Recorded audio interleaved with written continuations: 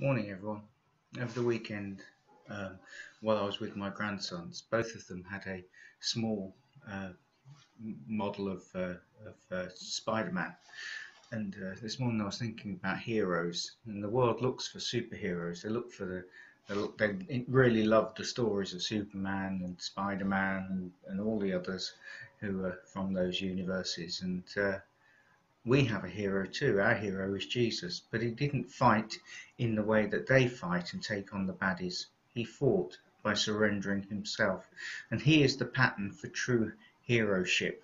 And each one of us are also called to be a hero, not in the sense of having to take on the baddies um, as they always do in these films, but just to live a life of humility and of servanthood and of obedience. That's what makes a true hero because if you look through the heroes of faith in Hebrews chapter 11, um, you'll see that, that they were just people who took God at his word and believed it, and they went on to do mighty things for him.